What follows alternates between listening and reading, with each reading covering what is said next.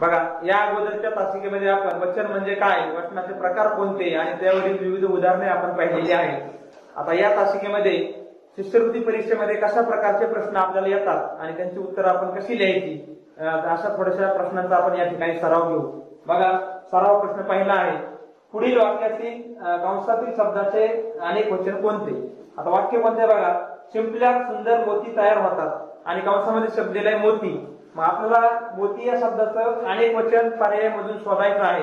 पर्याय चार आहे पहिला पर्याय मोते दुसरा पर्याय मोती. तिसरा पर्याय मोत्या. चौथा पर्याय मोतिया. तर मोती या शब्दाचं अनेक वचन या ठिकाणी मोते असं होणार आहे. म्हणून पर्याय क्रमांक एक हे उत्तर बरोबर आहे. दुसरा प्रश्न आला प्रश्न दुसरा पुढील पर्यायातील उभय उभयवचनी शब्दाचा पर्याय कोणता? आता उभयवचनी शब्द बघा कोणकोणते असतात? आपण शिकलो की ज्या शब्दांचं वचन बदलत नाही. आता पहिला शब्द बघा माळा. दुसरा शब्द फळा. तिसरा पर्याय आहे शाळा. आणि चौथा आहे वाळा. माझ्यातलं कोणता कोणत्या शब्द असा आहे त्याचं वचन बदलत नाही? तर तो शब्द आहे शाळा. म्हणून पर्याय क्रमांक तीन हे या प्रश्नाचं उत्तर बरोबर आहे. पुढचा प्रश्न आहे दुसरा बघा. बेडूक या शब्दाचे अनेक वचन कोणते?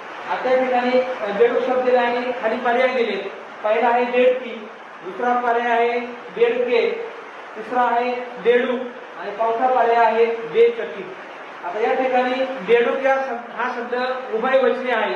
म्हणून याचं उत्तर असणार आहे बेडूक. पर्याय क्रमांक तीन हे याचं अनेक वचन आहे. चौथा प्रश्न बघा. पुढील पर्यायातील एक वचन अनेक वचन असलेला पर्याय शोधा. आता एक वचन अनेक वचन याच्या जोड्या दिल्यात. आणि त्याचं योग्य उत्तर आपल्याला शोधायचं आहे. पहिला पर्याय आहे बघा लिंबू अनेक वचन लिंबे. दुसरा पर्याय आहे जळू अनेक वचन जळे तिसरा पर्याय आहे ऊ अनेक वचन उवे. चौथा पर्याय गळू गळू. ह्याचा आपल्याला काय शोधायचं एक वचन अनेक वचन असलेला योग्य पर्याय शोधायचा आहे. तर याचं उत्तर आहे लिंबू.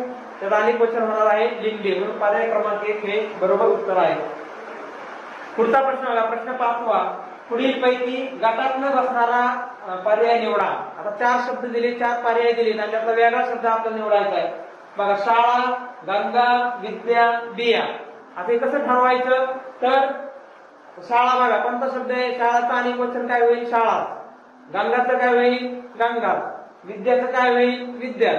पण बिया हे अनेक वचनी शब्द आहे त्याचं एक वचन बी होतं. हे सगळे उभयवचनी शब्द आहेत. म्हणून पर्याय क्रमांक चार हे गटात बसणारं उत्तर आहे. म्हणून याचं उत्तर आहे पर्याय क्रमांक चार. अशा प्रकारे आपण शिष्यवृत्ती परीक्षेमध्ये कशा पद्धतीने प्रश्न येतात याची माहिती आपण घेतलेली आहे. सर्वांना आपल्या पुढच्या परीक्षेसाठी शुभेच्छा आणि प्रत्येकाने हा वचन घटक व्यवस्थितपणे समजून घ्या.